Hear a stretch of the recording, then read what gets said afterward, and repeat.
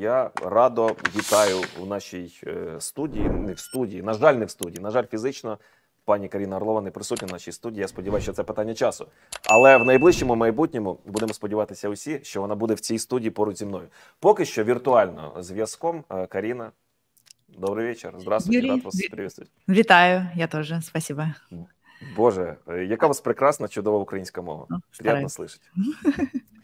Карина, э, так, ну что, я, вы знаете, много тем на самом деле я запланировал и про Пригожина, там, и про Путина, и все такое, но не хочу об этом. Хочу спросить вас о том, что происходит в Америке, в Штатах, что происходит с Трампом, и что конкретно происходит с эм, еще с одним кандидатом, как я понимаю, потому что среди этих самых кандидатов на предстоящих в следующем году президентских выборах Получается, что новая восходящая звезда американской политики. Э, Исправляйте, если ошибаюсь произношении. Вивек Рамасвами. Виве- ну да, Вивек, Вивек Равасвами, это правда. Есть такой человек, чем он известен. Э, 38 лет, республиканец-миллиардер индийского происхождения, протеже Илона Маска. Он выступает против членства Украины в НАТО, против продолжения поддержки Киеву. Он также призвал позволить России сохранить контроль над захваченными территориями Украины. И вот здесь хотелось бы спросить, насколько все серьезно? Ну, с его убеждениями, конечно, все очень серьезно, в отрицательную сторону, это понятно. Есть один положительный момент, и он проявился, я имею в виду положительный для нас с вами, да, вменяемых, э, нормальных, э, порядочных людей, процитирую Виталия Портникова, за что он подвергся обструкции и гадости Да. со стороны Шендеровича. Но все-таки для нас, порядочных людей, а, значит, есть положительный момент в м, фигуре Вивека Равасвами, потому что он на самом деле, он очень красноречиво разговаривает, он прекрасный оратор, можно было убедиться, даже не понимая, в принципе, английского языка, если посмотреть, как он говорит и как он себя преподносит, это все понятно.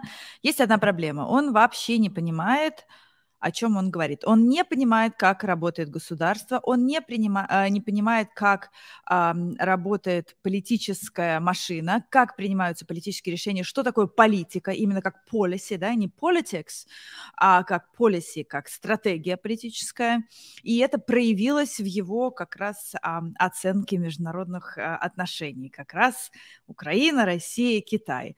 Он наговорил полную чушь, а, за что тут же, тут же его а, обругала Ники Хейли. А, ну, она тоже точно профессионал а, во внешней политике, потому что она была послом в США в ООН при Трампе, до этого она была ам, губернатором а, Южной Каролины. Вот, и она, кстати, очень толковая именно с профессиональной точки зрения, да, и она, конечно же, очень так э, эмоционально выступила, рассказала, что Пригожина убил Путин, и, кажется, Виталия Чуркина, поспреда России в ООН в 2017 году тоже убил Кремль. Ну, скорее всего, это так и есть, да, потому что мы помним внезапный сердечный приступ, она просто об этом сказала на сцене, ну и она Я бы не удивился, кстати, да. ну, конечно, да, очень много было разговоров об этом, да, и эм, она, да, а, и вот это, конечно, то есть если вот, если бы Вивек Равасвами эту тему не затронул, а он не мог ее не затронуть, потому что он до этого уже говорил в интервью об этом, и потому что это был, был топик, который ам, при- ну, приготовили ведущие да, этих дебатов. В общем, до этого момента он как бы эти дебаты выигрывал, и он был абсолютно на коне, а вот после этого вопроса резко пошел вниз. Поэтому, ну, Вивек Равасвами, вы знаете, у него, конечно, никаких шансов нет стать кандидатом от республиканской партии. Он вот из таких людей, которые как бы хайпуют, которые резко набирают, да, м, поддержку, но до определенного момента, да, вот до вот потолок. Вот он уперся в свой потолок, и он, конечно, представляет, понимаете, он как бы и сам себя позиционирует как Трамп, только молодой.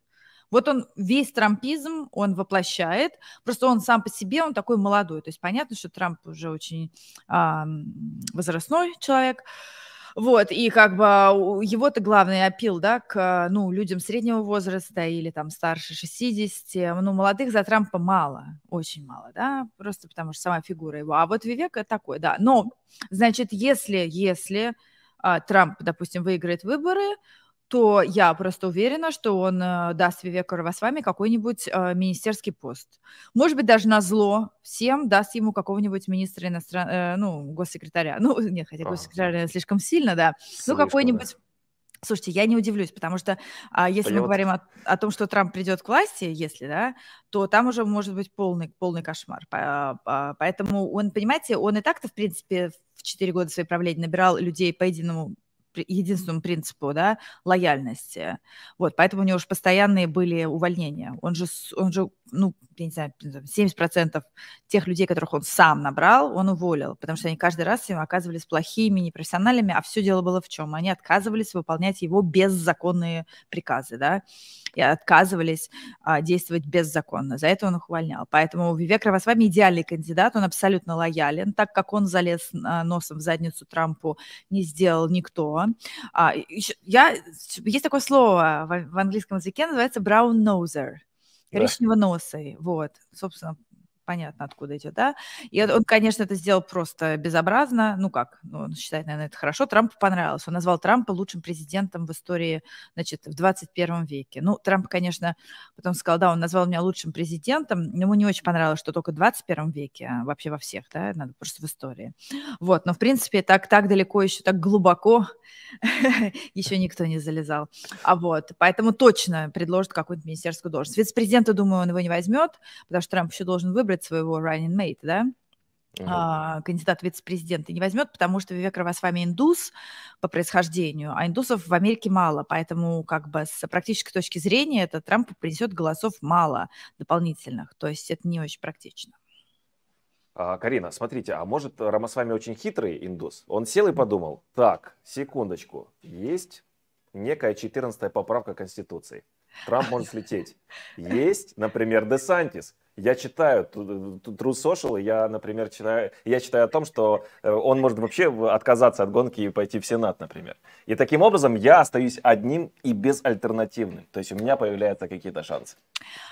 А я вот не думаю, честно говоря, смотрите, а, я думаю, что расклад очень сильно поменяется, если, Трамп, э, если допустим, да, а, Трамп выпадет, и, ну, Десантис вроде как уже отвалится, вы сейчас только что процитировали Трамп, пост Да. Трампа в True Social, написанный на загадочном языке, Очень потому загадочно. что он написал «ходят, постоялец», что Десантис, э, значит, выйдет из президентской гонки, э, ну, а это уже давно об этом говорят, потому что, значит, избирательная кампания действительно находится на, а, значит, средствах э, жизнеобеспечения, да, на life support, а, потому что они очень много привлекли денег от больших доноров, от крупных, но все потратили, непонятно на что, рейтинги Десантиса пошли только вниз, вот, а денег больше спонсоры не дают, доноры, они вообще ставят теперь, знаете, на кого, например, на очень хотят уговорить губернатора Вирджинии Глена Янкина а, выдвинуться.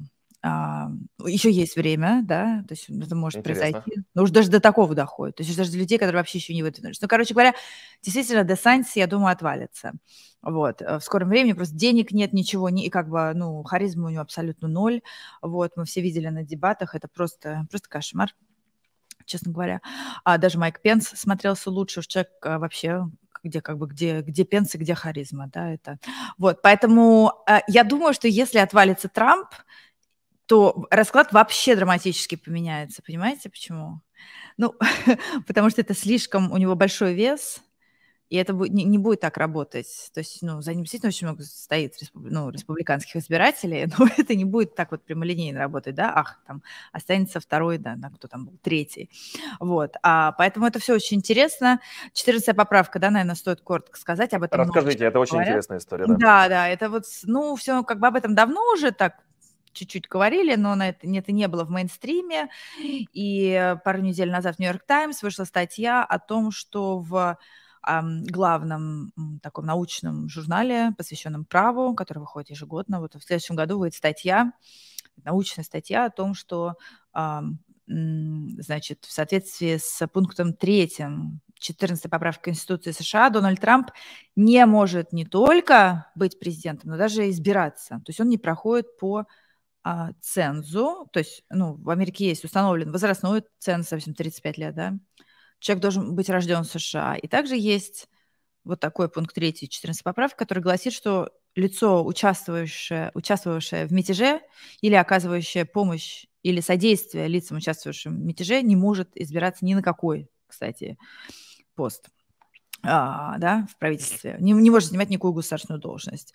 Вот. Ну, мятеж был, И, для, и главное, что для воплощения в жизнь, для применения этой поправки не требуется никаких судебных решений, ни импичмента, ничего. То есть она действует... А кем она активируется?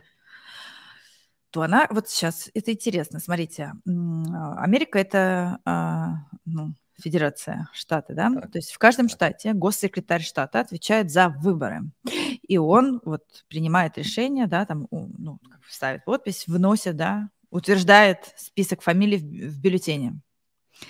Вот так и будет приниматься. Значит, все закончится тем, что... А, ну, сейчас быстро договорю. В «Нью-Йорк Таймс» вышла статья, а потом в «Атлантик» написали а, два, ну, не знаю, их называют «львы» конституционного права. Один из них бывший судья Майкл Латтиг, очень консервативный судья, а, судья апелляционного суда, которому, кстати, Пенс звонил за несколько дней до 6 января и консультировался с ним, спрашивал, имеет ли он право отказаться сертифицировать выборы на церемонии 6 января в Конгрессе, потому что Трамп на него давил, на что Латик ему сказал категоричное нет, очень короткое, нет, конечно же. И второй а, профессор из Гарварда, то есть левых, э, либеральных да, взглядов, то есть абсолютно да, с разных флангов пришли тоже к такому же выводу, сами исследовали этот вопрос, что Трамп должен быть дисквалифицирован. Значит, а, уже был подан иск первый во Флориде, в Палм-Бич, прям где проживает Трамп.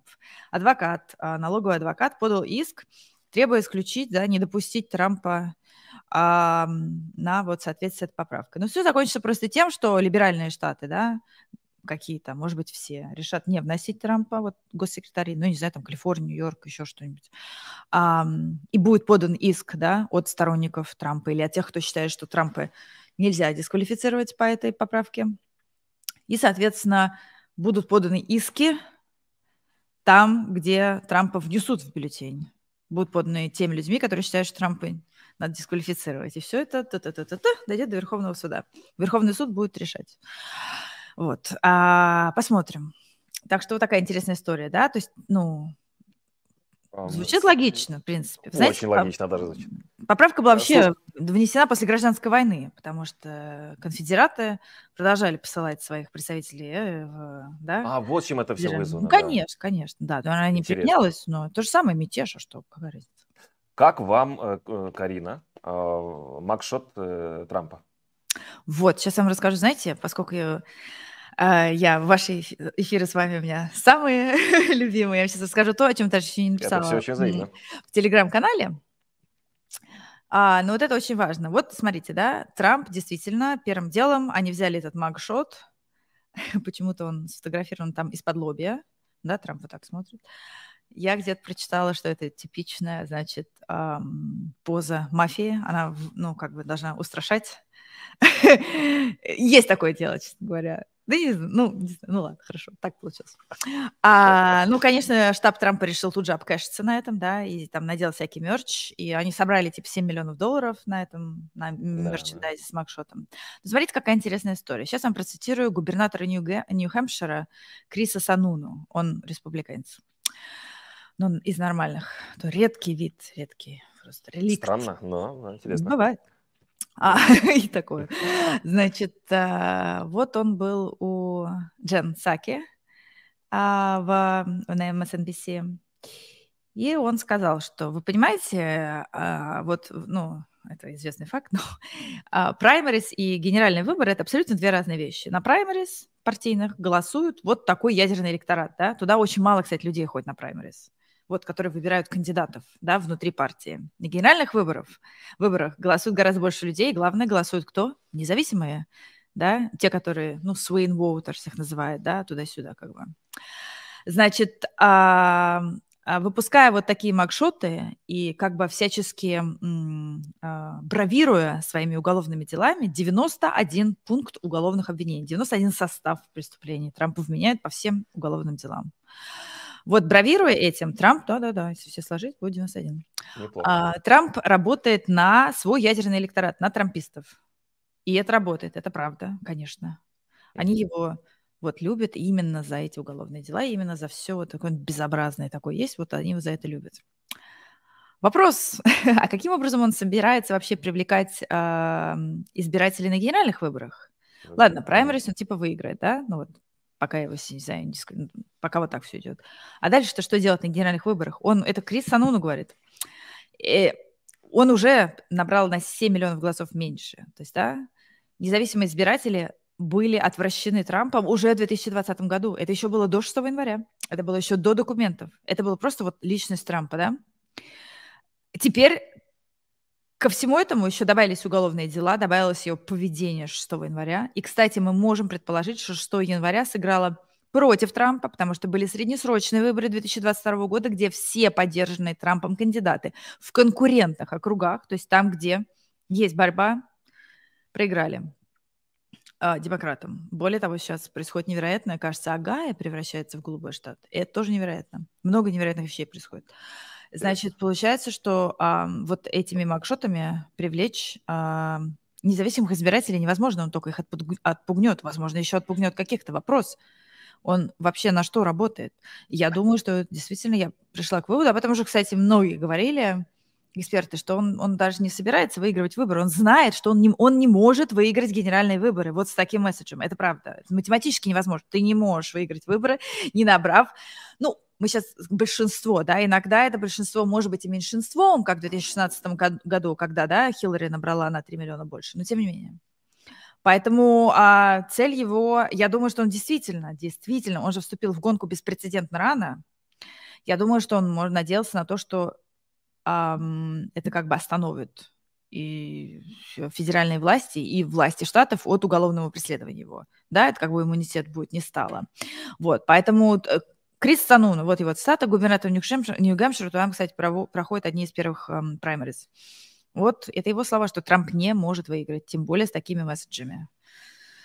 А, я где-то читал, что технологи постарались, то есть они ему подсказали, как конкретно ты должен выглядеть, какие эмоции при этом испытывать. И помимо того, что, простите, буду говорить, намутить бабла на вот этих всех э, футболках, чашках и да, с изображением, э, так еще это тоже что-то должно каким-то образом, что-то еще должно показывать. Я не знаю, удалось, не удалось, правда это или неправда, но, по крайней мере, такую информацию я встречал. Э, Карина, а расскажите нам, пожалуйста, э, тем, кто не, не понимает, я среди, в первую очередь, среди этих людей, потому что я уже запутался. Э, сколько дел, как это все происходит? Вот где-то он там четверть миллиона заплатил, да, какой-то молниеносный быстрый арест был. Он откупился, что-то заплатил, потом приехал, прилетел на частном самолете, потом куда-то опять улетел. Так вот, посадят его или не посадят? Что там в конце концов происходит? Посадят его или не посадят? Хороший вопрос. Слушайте, я не знаю, я же не, я ж не, я ж не Валерий Соловей, который знает все, да? Он же знает, что же Владимир Путин уже пять лет умер каждый раз. Вот, а, поэтому, слушайте, я не знаю, но реально над ним висит угроза, да, а, получения реального тюремного срока. Это правда. И, кстати, только что я слушала Джен, слушайте, я, я, я называю, по-английски она звучит как Саки, но, наверное, на русском это не очень, она называет Псаки в русском языке, поэтому бывший пресс-секретарь Белого дома, она на, на MSNBC работает, я слушала ее интервью, которое она давала в качестве гостя, ее тоже спрашивают, да, ну вот посадят или нет. Вот буквально вчера она говорит, слушайте, ну я не юрист, я не знаю, но есть, ну это реальность, это правда, из того, что говорят юристы-эксперты, есть какие-то ходят слухи, я не знаю, насколько это, кстати, вообще адекватно, но что типа Трампу предложат а, может быть, пойти на сделку со следствием, да. Кстати, мы еще не знаем. Это, конечно, не в характере Трампа пойти, да, на plea, plea deal, на признание вины в обмен на а, меньшее наказание или на, в обмен на снятие каких-то пунктов обвинения. Это, тогда не проводится процесс судебный. Тогда как бы уже все вот, он признает вину, автоматически выносится, да, решение ну, суда, и только суд принимает решение о назначении наказания. Он, кстати, может отказаться, суд. Вот, а, поэтому мы не знаем, может быть, Трамп пойдет на сделку, да, ну, я не думаю, что, ну, может быть, ему, я, правда, не знаю, как это вообще работает, и как, ну, как это можно легально оформить, да, что с Трампа там, я не знаю, снимают обвинения, а он не избирается. Это как-то, ну, такое вот, как слух, который, да, ходят постоялец. Это то, что Трамп. Трамп просто не знает, он безграмотный феноменально, да, сейчас. Вот, он написал rumor, rumor. Rumor – это, ну, как, э, а, как э, постоялец, да, от слова комната. Room, rumor – тот, кто живет с тобой в Там что-то что-то слово фашист было связано. Да, нет, это следующий пост. А это он перепутал rumor – слух, да, с rumor да. постоялец. Да еще у него это все оказалось во множественном числе. А, ну, дальше было больше. Он же вообще сошел с ума, если вы почитаете вот True Social, там просто там, ну, угрозы, это все понятно. Он опять угрожает Джеку Смиту, и дальше всех обозвал всех фашистами. Ну, Джек как Смит на русском... прокурор, да, который... Да, да, спецпрокурор. Хотя, ну, это просто кошмар. Mm. То есть, в принципе, такого человека... Слушайте, это самый опасный преступник, который находится на воле под а, до судебного разбирательства. Опасный в плане, естественно, а, власти, которая у него есть, и в плане того, что он вытворяет. То есть, ну вот вы можете себе представить вообще любого другого рядового гражданина в любой стране мира, против которого возбуждено уголовное, уголовное дело, которого отпустили там, да, под, ну вот в Джорджии под залог, а, или там просто отпустили его, да, а, ну не стали там арестовывать, а он публично угрожает прокурорам и всем остальным. Ну, это как? Ну, конечно, вот тут же бы, вот тут же бы арестовали, посадили бы в тюрьму до разбирательства. Да. Я думаю, что с Трампом он не может себя остановить, он будет это нарушать. Ему, кстати, уже судья сделал выговор федеральный, сказал, что нельзя это делать, я накладываю ограничения, и он, что нельзя угрожать, нельзя, да, а, сам или постить, или, репу, или репостить, он это будет делать, его, значит, несколько раз ему вызовут, как бы, да, в суд, сделают э, очередное китайское предупреждение, но, видимо, в какой-то момент просто наступит уже точка невозврата, и, и его реально могут посадить в тюрьму до, ну, как мера пресечения. И mm. это будет правильно. А, Карина, а что в это время происходит в лагере демократов? То есть там один безальтернативный кандидат, там нет соперничества, или оно есть, оно как-то проявляется? Что там сейчас? Не, ну у нас есть один сумасшедший Бобби Кеннеди Junior, да, это вот такой Вивек Рамасвами, только с фамилией Кеннеди, настоящий американец, американские royalty, да, вот в Америке нет yeah. королевской семьи, в Америке есть royalty, это клан Кеннеди. Значит, Бобби Кеннеди Junior, он, собственно, сын Роберта Кеннеди и племянник Джона, а, абсолютно сумасшедший человек, взгляды у него все точно такие же, как у Вивека Рамасвами по Украине и так далее. Вот, только он почему-то называет себя демократом, и как-то environmentalist, а, значит, ну, защитник окружающей природы. Правда, он такой хороший защитник, что он летает на частном джете. А это как бы вообще вот, вот страшное преступление вообще. Просто, Неплохо. Да, capital offense, нельзя. А, ну вот, а у него большая поддержка. Он в какой-то момент до 20% доходила, ну, вроде упала там до 10-15, он абсолютный там антиваксер, сторонник всех возможных теорий заговора, врет просто как сивый мерин. Вот, э, ну, просто кошмар, да. Я думаю, что он представляет угрозу и для, конечно, для вообще всех, но не в, не в контексте праймерис. Он, конечно, не сможет выиграть праймерис у Байдена, но знаете, что будет не очень хорошо? Если он э, решит потом пойти независимым кандидатом. Угу. То есть, ну, уже после праймерис на генеральных выборах пойдет как как независимый.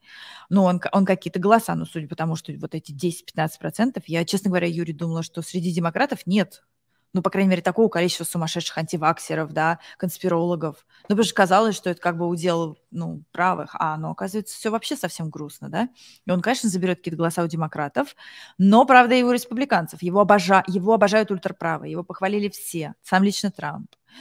А, его похвалил Майкл Флинн, а, вот этот опозоренный, да, э, как-то disgraced, как в, в Америке используется официальное слово, ну, как, объяс... ну, не знаю, ну да, опозоренный, бесчестный генерал, который был на корпоративе Арти вместе с Путиным и Симоньян за одним столом, которого поймали а, на... Я, я, я не знал эту историю. Ой, да, он был советником, советником у Трампа недолго, ага. меньше месяца, и по национальной безопасности, между прочим. Вот. А, ну, оказывается, он очень такие вел дела с Россией, потом его поймали на том, что он и, значит, интересы Эрдогана лоббировал, забыв зарегистрироваться как иностранный агент. То есть прекрасный человек, иными словами. Вот. А, Стив Беннон, да, это вообще тоже был советник по Трампа. Вообще в Белом доме очень долго находился. Абсолютный националист, вообще, ну, такой же, типа, да, фашист, как сказал бы Трамп. Вот. И да, то есть Бобби Кеннеди обожают ультраправые. Ну, то есть он, если пойдет независимым, это тоже будет вообще, вообще что-то непонятно. Вы знаете, я вообще думаю, я вам скажу так, я думаю, что вот мы сейчас вот так вот рассуждаем, ну, все понятно, будет там Трамп и Байден.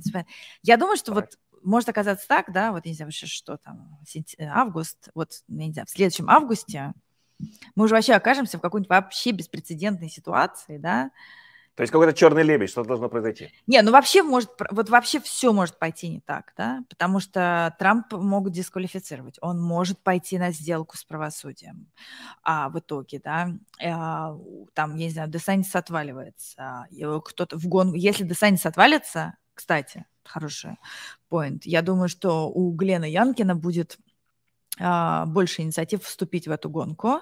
А это он, кто? Это губернатор Вирджинии. Он был избран в 2022 году вместо э, демократа демократ не стал переизбираться, и эм, Янкин выиграл. У него тоже такие очень ну, вот по школе, там вот чтобы... Он запретил изучение критического, преподавания критической расовой теории в школах Вирджинии, правда, ее там не преподают, но запретил на всякий случай на будущее.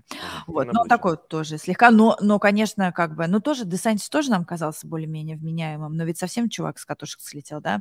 Он же что сказал на дебатах? Я введу войска, да, я отправлю войска в Мексику, он сказал, чтобы бороться с наркокартелями. Ну, то есть то есть человек сказал, я просто начну войну против другой страны, потому что введение... Слушайте, а мексиканская тема, я вижу вообще, она очень популярна. То есть она разыгрывается да. вот этими трампистами, да, да, людьми вот с такими воззрениями политическими очень-очень часто. Да, многие же даже говорят, что вот сколько денег мы Украине даем, можно было бы все на мексиканскую границу направить.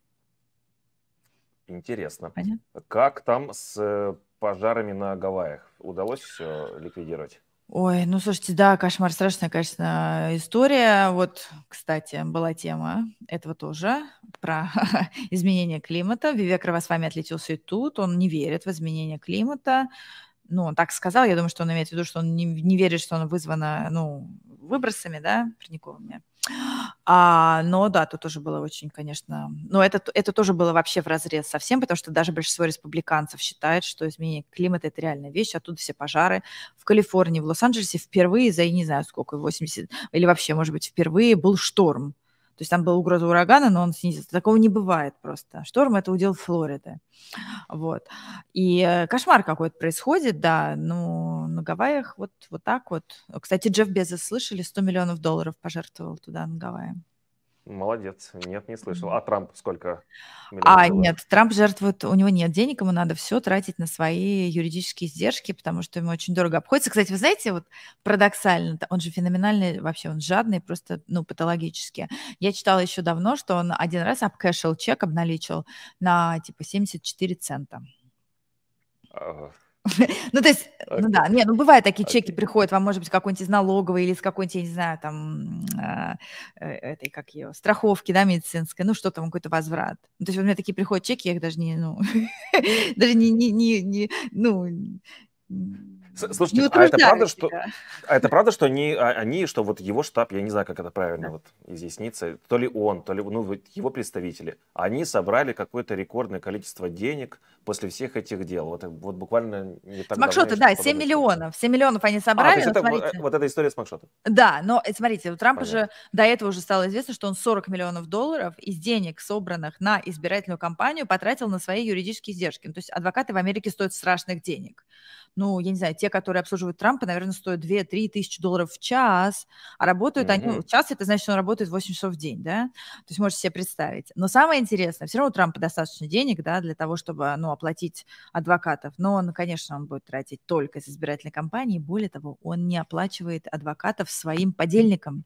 Например, в Джорджии у него 18 сообщников, сообщников обвиненных, и у этих людей, ну, нет таких денег, это реально гигантские деньги, ну, то есть там просто миллионы долларов, да, и он, он не оплачивает им. Например, Руди Джулиани вообще страдает, не может найти себе юристов, не может их оплачивать, и это все о чем говорят? О том, что жадность Трампа погубит, потому что чем, значит, э, меньше у этих людей денег на адвокатов, чем меньше у них адвокатов, тем больше у них инициативы пойти на сделку со следствием, дать показания на Трампа и выйти сухими из воды. И, кстати, так и будет, конечно же, естественно, из всех 19 обвиняемых в Джорджии, включая Трампа, до суда дойдут не все, естественно. Кто-то пойдет на сделку, многие, наверное, пойдут на сделку. Вот. Руди Джулиани – это, во-первых, человек, который, э, ну, его маршрут предшествовал маршруту Трампа, да. а во-вторых, это экс-мэр Нью-Йорка, по-моему, да? да? Да, он, кстати, был достаточно успешным мэром Нью-Йорка, его очень любили. Mm-hmm. Что с ним произошло потом, непонятно.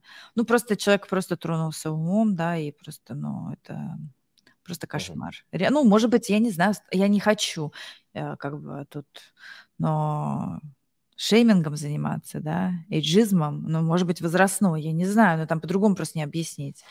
Был бы молодой, я бы сказала, что он просто галлюциногенов переел.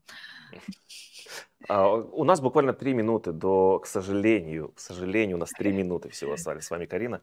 Но хочу вот о чем спросить. Значит, сейчас в западной прессе все больше и больше появляется материалов о том, что э, чем ближе американские выборы, тем Э, больше давления будет оказываться на украинскую власть, им что-то будет меняться, да? тем вот э, склонять к переговорам, к каким-то компромиссам, к чему-то еще. Все это вообще, в принципе, может соответствовать действительности или нет? Потому что из одного лагеря я слышу одно, из другого абсолютно другое, то есть против, противоположное. Что думаете вы по этому поводу? Ну, вот я читала тут э, статью, да, в я не помню, в каком именно издании, но я читаю хорошее издание, только уважаемые, респектабельные. Значит, там было, да, что Киев, значит, Украина изменила военную стратегию, ну, видимо, под нажимом а, западных партнеров, потому что они оказались недовольны. А, а, да, кстати, я извиняюсь, я сейчас должна буду уходить, потому что у меня минутку, ладно, еще. Да, а, там прям так и было сказано, что Украина изменила, да, свою стратегию, чтобы а, выйти на более да, сильной стороны на договорные позиции. Угу. Да, на более сильные позиции а, для возможных переговоров с Россией. То есть это было как бы сказано, да, то есть как бы, ну, как часть, да, то есть вскользь. Поэтому, может быть, да, я не знаю. Вообще это решать Украине, но заголовки... Тут нет, знаете, не выходят газеты с заголовками «Украина должна договариваться с Путиным». Нет, такого нет. Карина, спасибо огромное. Отпускаю спасибо. вас э, и спасибо ожидаю, большое. что в ближайшее время мы с вами вновь э, пообщаемся в рамках эфира. Всего спасибо самого хорошего. Карина Орлова была с нами, журналистка.